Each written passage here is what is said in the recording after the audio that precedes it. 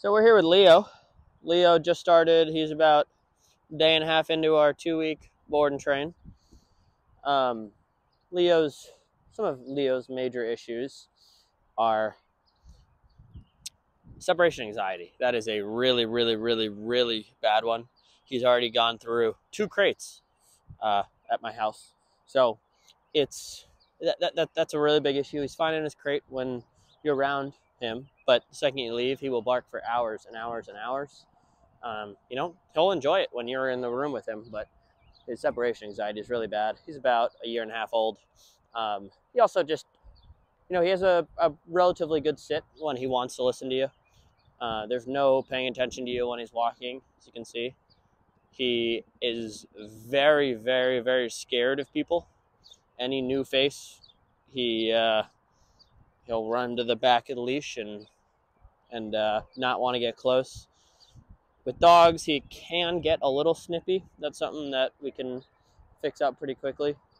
But if you guys want to follow along for the journey, we'll uh, we'll show you what Leo looks like after our two week program.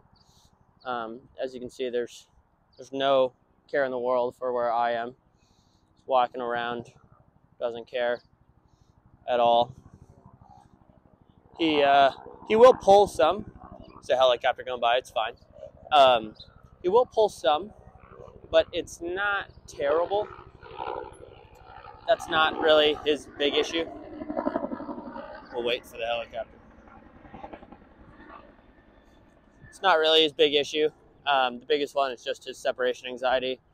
Um, I mean, as I say, pulling in that bad. He wants to go. Doesn't care about where I am. I pull back. He leans in more.